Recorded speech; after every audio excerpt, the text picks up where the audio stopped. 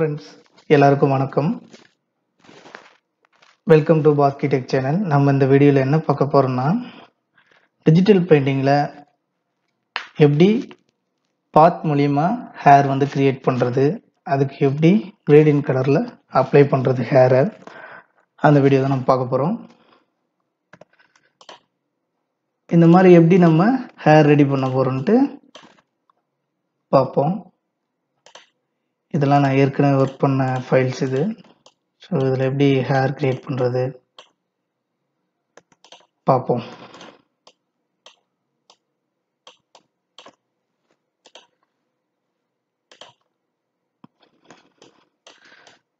So ஒரு photo எடுத்து வச்சுருக்கேன்.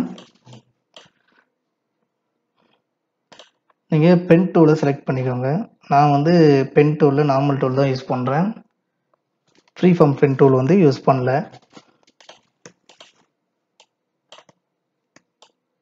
இப்போ நீங்கள் ஹேர் எப்படி இருக்குதோ அதே மாதிரி ட்ராப் பண்ண ஆரம்பிச்சுக்கோங்க.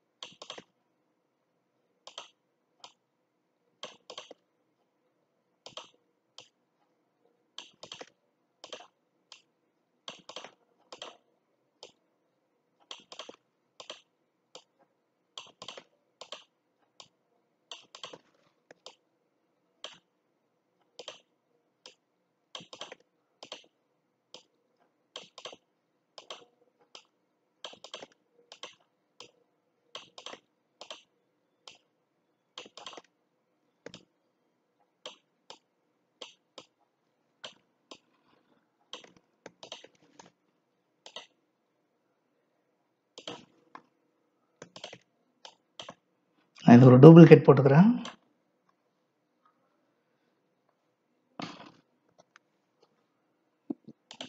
ஏதாவது ஒரு சாஃப்டான ப்ரெஷ் எடுத்து ஹேரை வந்து பிளாக் பண்ணிக்கலாம்.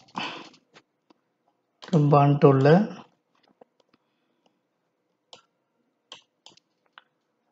நீங்கள் உங்களுக்கு தேவையான அளவுக்கு ஹேரை வந்து பிளாக் பண்ணிக்கோங்க. இதெல்லாம் நீங்கள் ஸ்மஜ் பண்ணி முடிச்சுட்டு கட் பண்ணிவிட்டு அதுக்கப்புறம் இதெல்லாம் பண்ணுங்க.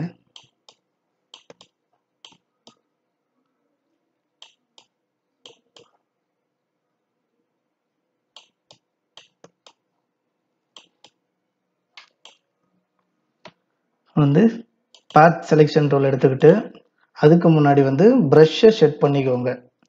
என்ன கலரில் வரணும் எந்த சைஸில் இருக்கணும் ப்ரஷ்ஷு இதெல்லாம் நீங்கள் ஃபஸ்ட்டே ஃபிக்ஸ் பண்ணிக்கணும். ப்ரஷ் டூல் எடுத்துட்டு நான் ரெகுலராக யூஸ் பண்ணுற ப்ரெஷ் வந்து இந்த ப்ரெஷ் தான். சரி. இந்த ரவுண்ட் பாயிண்ட் ஸ்டப் ப்ரெஷ் தான். இது வந்து நான் சைஸ் வந்து ஒரு டுவெண்ட்டி ஃபைவ் வச்சுக்கிறேன். நீங்கள் ஃபஸ்ட்டு இது பண்ணும்போது எல்லாமே ஒப்பாசிட்டி வந்து ஃபிலோ ஹண்ட்ரட் வச்சுக்கோங்க. இங்கே அதுக்கு முன்னாடி வந்து இந்த ப்ரெஷரை வந்து சிசியில் ஒர்க் பண்ணுறதா இருந்தால் கண்டிப்பாக இந்த டிக்கை கொடுத்தீங்கன்னா தான் உங்களுக்கு வந்து ஹேர் நீட்டாக கிடைக்கும். இல்லாமல் கொடுத்து பார்ப்போம் பாருங்கள் நான் இப்போ ஒரு ப்ளூ கலர் செலக்ட் பண்ணிக்கிறேன். இல்லை ஒரு pink violet colour select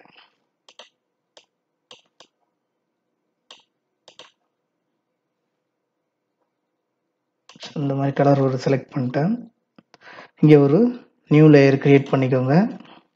create பண்ணிவிட்டு பாத் செலெக்ஷன் டூல் எடுத்துகிட்டு அப்படியே ட்ராக் பண்ணிங்கன்னா எல்லாமே செலக்ட் ஆயிரும். இப்போது ரைட் கிளிக் பண்ணி ஸ்ட்ரோக் பாத் கொடுத்துட்டிங்கன்னா ஓகே ஸோ இந்த மாதிரி அந்த ப்ரஷ் எப்படிக்குதோ அதே மாதிரி தான் வரும். அது ப்ரெஷர் இல்லாமல் வரும். இந்த மாதிரி பண்ணுறது நல்லா இருக்காது. ப்ரெஷ் சைஸு கொஞ்சம் நான் கம்மி பண்ணிக்கிறேன். ஒரு ஃபிஃப்டீன் அந்த மாதிரி வச்சுக்கிறேன். இப்போ இதை ஆன் பண்ணிடுங்க. இந்த ப்ரெஷர் ஆன் பண்ணிவிட்டு ப்ரெஷரோட செட்டிங்ஸுக்குள்ளே போனீங்கன்னா இந்த ட்ரான்ஸ்ஃபர் வந்து டிக்கில் இருக்கான்னு பார்த்துக்கோங்க.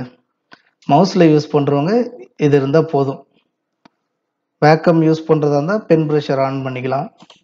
இந்த ஒரு டிக்கு அப்புறம் பென் ப்ரெஷர் வந்து ட்ரான்ஸ்ஃபர் வந்து ஆனில் இருக்கணும் இப்போ கொடுத்துட்டு நான் வந்து ட்ராக் பண்ணி ஸ்ட்ரோக் பாத் ஸோ இப்போ பார்த்தீங்கன்னா அந்த கார்னர்லாம் நல்லா ஷார்ப்பாக வந்திருக்கு. இதுவே இன்னும் ப்ரஷ் சைஸை நம்ம சின்னது பண்ணிக்கணும். கண்ட்ரோல் இசட் கொடுத்துட்டு மறுபடியும் பேக் வரேன் ப்ரஷ்ஷை செலக்ட் பண்ணிக்கிறேன். ஒரு நைன் வச்சுக்கிறேன். இப்போ செலக்ட் பண்ணிவிட்டு ஸ்ட்ரோக் பார்த்து அப்ளை பண்ணுறேன் ஸோ இப்போ பார்த்தீங்கன்னா கொஞ்சம் நல்ல டீட்டெயிலாகவே அப்ளை இருக்குது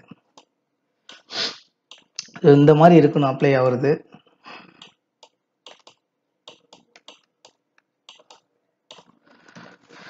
இதுக்கு எப்படி கலர் ஃபிக்ஸ் பண்ணலாம்? கலர் ஃபிக்ஸ் பண்ணுறது உங்களோட விருப்பம் தான். உங்களோட தனிப்பட்ட விருப்பம். நீங்கள் சூஸ் பண்ணுறது தான் கலர் கரெக்டாக கொஞ்சம் மேட்ச் ஆகிற மாதிரி செலக்ட் பண்ணிங்கன்னா எந்த கலருமே நல்லாயிருக்கும் இப்போ நான் வந்து இதை கிரேடியன்ட் அப்ளை பண்ணுறேன் டபுள் பண்ணிங்கன்னா கிரேடியன்ட் வந்துடும் கிரேடியன்ட்டு கொடுத்துக்கிறேன் கொடுத்துட்டு இதில் உங்களுக்கு என்னென்ன கலர் தேவையோ அந்த ரெண்டு கலர் நீங்கள் ஃபிக்ஸ் பண்ணிக்கலாம். ஒரு ப்ளூ அதோட பிங்க்கு சேர்ந்து இருக்கிற மாதிரி இருந்தால்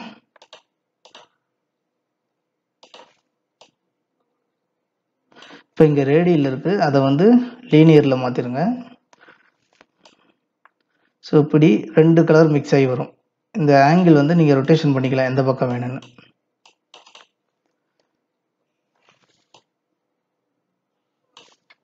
இப்படி கொடுத்துட்டு நீங்கள் ஓகே கொடுத்துக்கலாம் இப்போ பார்த்தீங்கன்னா உங்களுக்கு தெரியும். சிங்கிள் கலருக்கும் கிரேடியண்ட்டுக்கும் ஸோ இதை அப்படியே வைக்காமல் கொஞ்சம் ஒப்பாசிட்டி வந்து கம்மி பண்ணி வச்சிங்கன்னா இந்த கொஞ்சம் லைட்டாக அந்த ரியல் ஹேர் இருக்கிற ஃபீல் கொடுக்கும். பார்த்தீங்கன்னா தெரியும். கொஞ்சம் ஒயிட் வந்து பார்த்தீங்கன்னா தெரியும். இப்போ அடுத்து ஃப்ரீ ஃபார்ம் பென் டூலில் எப்படி வரையுதுன்னு பார்ப்போம். இதை இதில் நம்ம வரைகிறதுக்கு முன்னாடி நான் வந்து லேசி நிசமி ப்ரோன்னு சொல்லிட்டு ஒரு ப்ளகினை யூஸ் பண்ணுறேன் அந்த ப்ளகினை பற்றி நான் உங்களுக்கு ஒரு வீடியோ தனியாக நான் போடுறேன். இப்போதைக்கு வந்து நான் இது வந்து அமௌண்ட் வந்து ஒரு டுவெண்ட்டி வச்சுக்கிறேன். டுவெண்ட்டி வச்சுக்கிட்டு இந்த ஹேர் அப்படியே நான் ட்ரா பண்ண போகிறேன்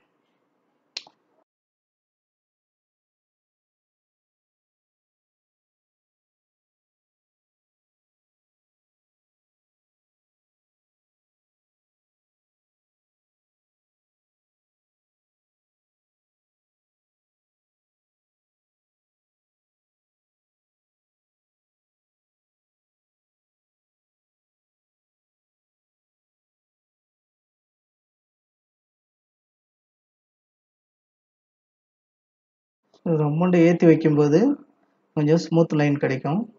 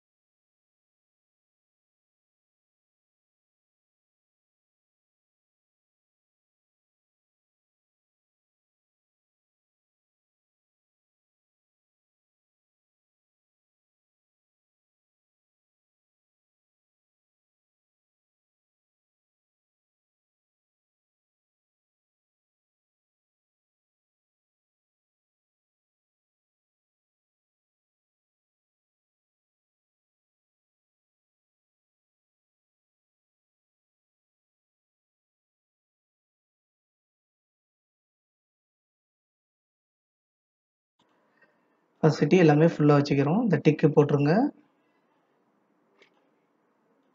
ட்ரான்ஸ்ஃபரை கிளிக் பண்ணிக்கோங்க. செலக்ட் பண்ணிவிட்டு ட்ராக் பண்ணிவிட்டு ஸ்ட்ரோக் பார்த்து கொடுத்து இங்கே வந்து ப்ரஷ்ஷு செலக்ட் பண்ணிட்டு கீழே சிம்லேட் ப்ரஷ் வந்து ஆனில் இருக்கணும். ஓகே இப்போ கொஞ்சம் பெருசாக இருக்கிறதுனால ப்ரஷ்ஷோட வேல்யூ சைஸ் வந்து டென் வச்சுக்கிறேன். Stroke path okay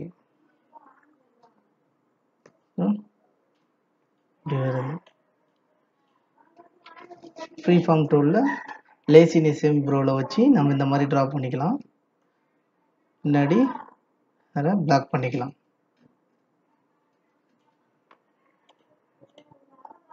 நீங்கள் இதை ஒப்போசிட்டி கம்மி பண்ணி வச்சுக்கலாம். சாரி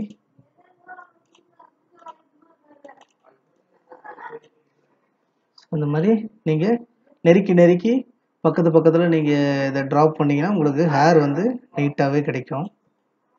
ஸோ உங்களுக்கு எந்த அளவுக்கு இதோட இது வேணுமோ நீங்கள் கரெக்டாக கேப்லாம் பார்த்து வரைஞ்சிங்கன்னா அது கரெக்டாக ஃபில் ஆகும். இதை பிடிச்சி செலக்ட் பண்ணிவிட்டு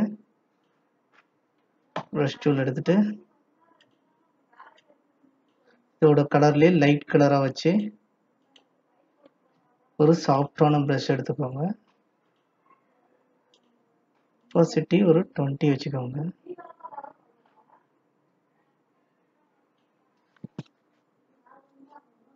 அதில் ஒரு எம்டி லேயர் கிரியேட் பண்ணிக்கோங்க. ஸோ இந்த மாதிரி லைட்டான இடத்துல இந்த லைட் ஹேரை வந்து நீங்கள் ஒயிட்டாக அப்ளை பண்ணலாம். இது பார்க்கும்போது கொஞ்சம் அது லைட்டிங் ஹேர் மாதிரி தெரியும்.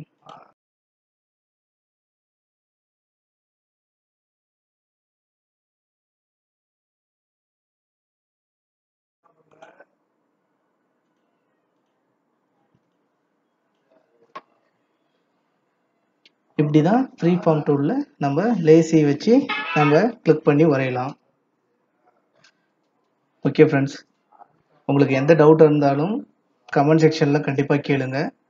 எனக்கு தெரிஞ்சதை கண்டிப்பாக நான் உங்களுக்கு சொல்லித்தரேன். இந்த வீடியோ உங்களுக்கு பயனுள்ளதாக இருக்குன்னு நான் நினைக்கிறேன்.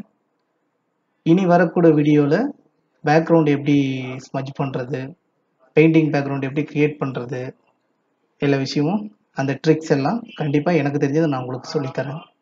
நம்ம சேனல் நீங்கள் இன்னும் சப்ஸ்கிரைப் பண்ணலாம் கண்டிப்பாக சப்ஸ்கிரைப் பண்ணிக்கோங்க. கூடவே பெல் ஐக்கானை கிளிக் பண்ணிக்கோங்க. நான் போடுற வீடியோ எல்லாம் ரெகுலராக உங்களுக்கு வரும். Thanks friends